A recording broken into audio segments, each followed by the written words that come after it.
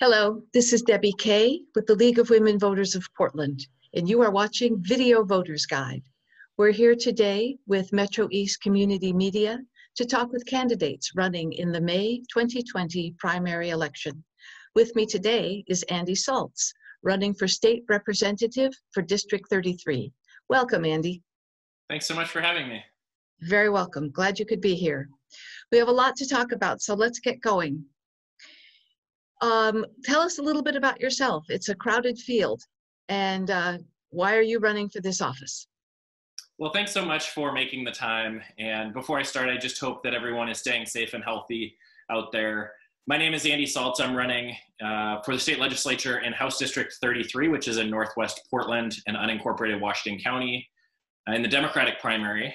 Uh, my partner and I both grew up in this district. And we started dating when we were 16 years old at Sunset High School and are raising our two boys in the community that we grew up in. I'm an educator, an advocate, and a father of two toddlers. I'm running to bring our state together because I'm really worried about our political system pulling us apart through partisanship, through our urban rural divide. And we have a lot of challenges in front of us, and I'm really excited to work through those challenges. I'm currently a professor of education policy and director of the PhD program in education and leadership at Pacific University. Previously, I've served on a school board and am the only candidate in this race to have served in elected office before. When I was on the school board in Michigan, when my partner was going to graduate school, it was during the Great Recession, and I learned an incredible amount about public service, about budgeting, and about humility. Those are going to be really important components in our next state legislature.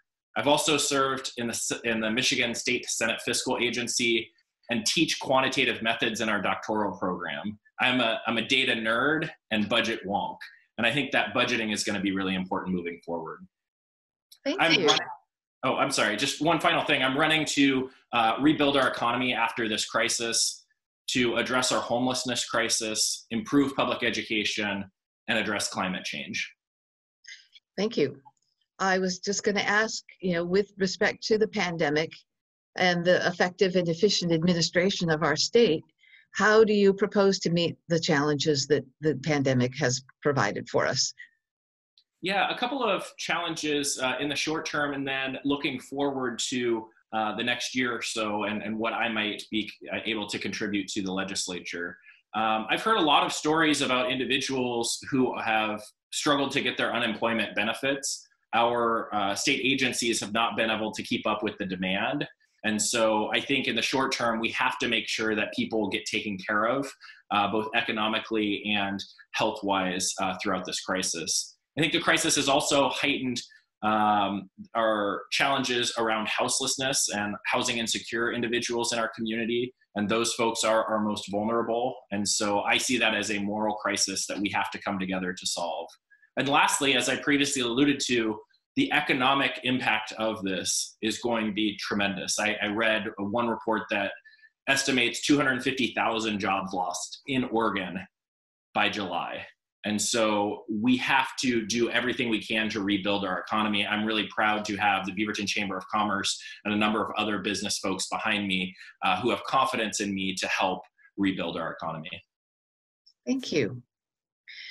Uh, a question about redistricting. Traditionally, the legislature has conducted the decennial redistricting process, which will be in 2021.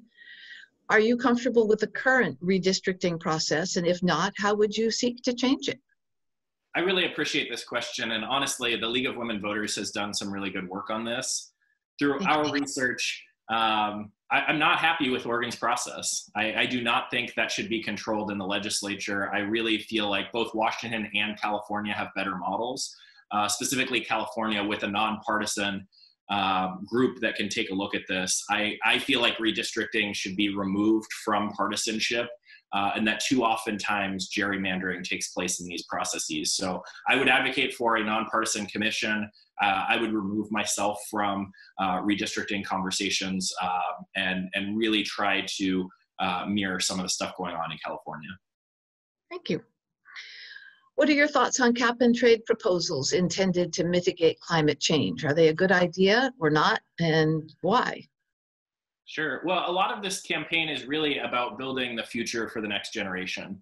I like to tell people the ultimate measure of a community is if people want to move back and raise their families there.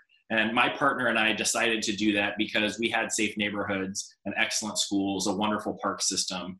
I'm really worried about the future of our state because I don't think we're doing enough to create sustainable environment. Um, I support cap and trade legislation.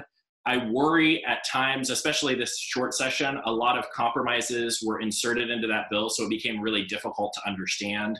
In fact, there were only two legislators who really felt like they understood in depth that I talked to about all of uh, the changes that happened with that legislation. So I think we have to simplify the process, but I absolutely support uh, environmental measures to create a more sustainable economy. Thank you. What is your view of the suggestion that the legislature suspend collecting the taxes to fund the 2019 Student Success Act?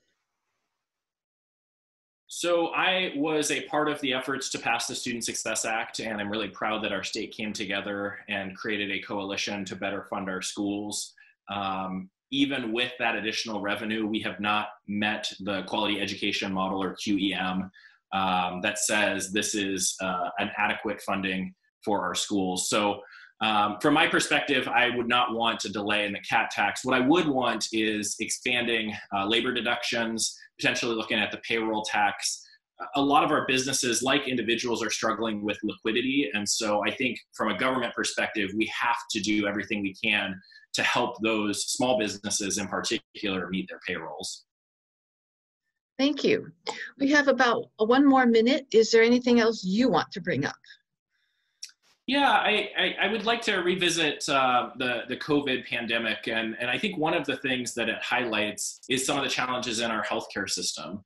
Um, people are not only losing their jobs, but they're losing their health insurance. And I cannot imagine the stress uh, that folks are under to navigate both of those things simultaneously. So I think we need to build a system where folks have confidence that they will be supported and have health care even if they lose their jobs. And that's currently not the situation. So I think we have a lot of work to do on access and affordability in our healthcare system as well. Um, the last thing I would just say is um, House District 33 is a really unique place. It's wonderful. It includes the Pearl District and Bethany and Cedar Mill these are areas that are growing really quickly. And my historical knowledge of the district and how those changes have occurred will really help me navigate the challenges moving forward. Thank you. It's uh, been a pleasure talking with you. And now I'm going to do my close. This has been Video Voters Guide, and thank you for watching. The primary election is Tuesday, May 19th. Be sure to inform yourself about the candidates and the ballot measures an excellent resource is www.vote411.org. Thank you again, and thank you, Andy.